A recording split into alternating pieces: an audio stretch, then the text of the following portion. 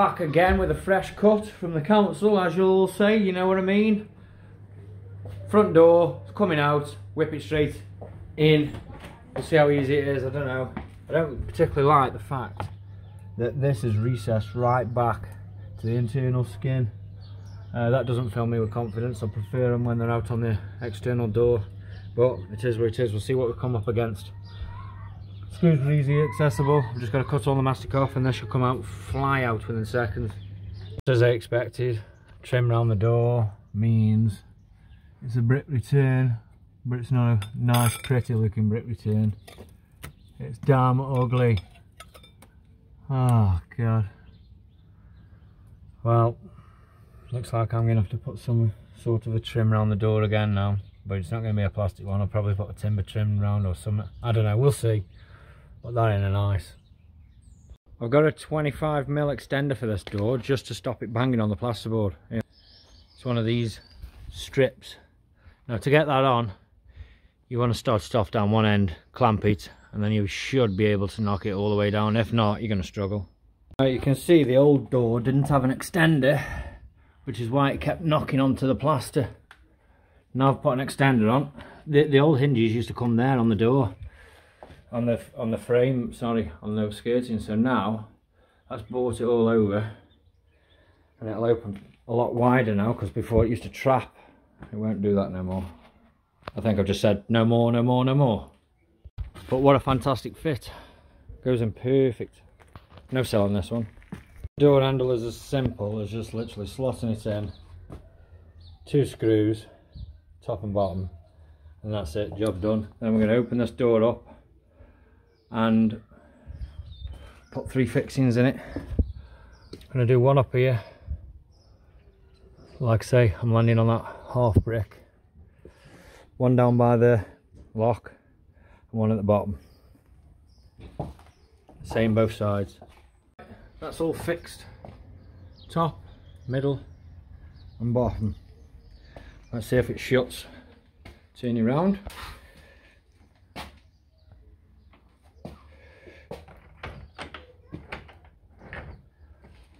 Right, that shuts perfectly. So what we'll do now is we'll whip these beads out. Let's see if it locks. More to the point. I've had some keys. Here we go. Alright. There you go. Locks and shuts perfectly.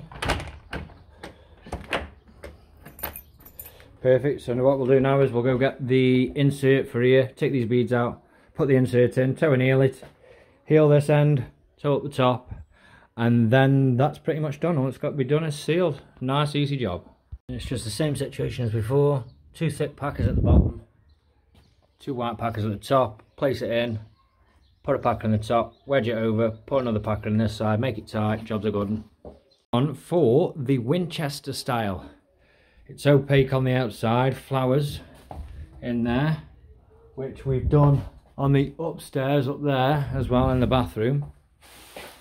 And I think that's going to let in a lot more light down this corridor. Beautiful, lovely little pattern of a door that is. And while we're at it, let me just uh, put something to bed. All you blokes out there who keep saying on about, are your FENSA registered, are you going to get building control, sign it off, blah, blah, blah, blah, blah. I've got all the video evidence for fitting these windows and doors right now. I'm pretty sure that if I go to building control, they'll pass them straight away.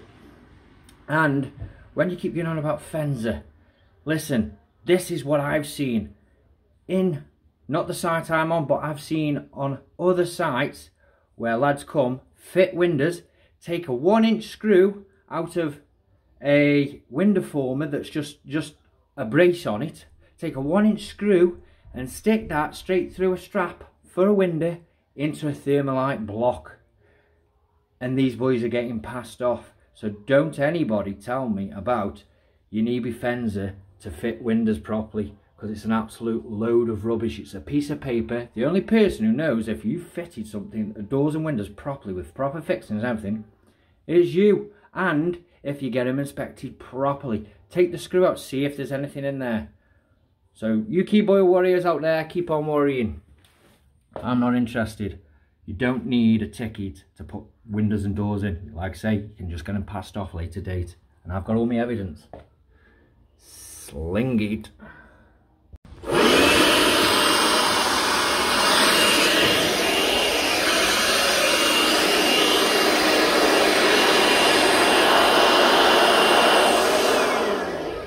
Right, these these panels come oversized for some reason. So we've had to cut off, say, 100 mil. And I've cut it off the bottom because I'm not having a post box because I've got one on the outside because of the dogs. So I've cut it off the bottom. Here we go. Now, there is a plastic film on this. You have to pull this off. You can't see it when you're just looking at it. But there is one there. Pull it off and then fit the door panel. Thanks for watching. See you in the next one. Keep it nice and easy, boys and girls.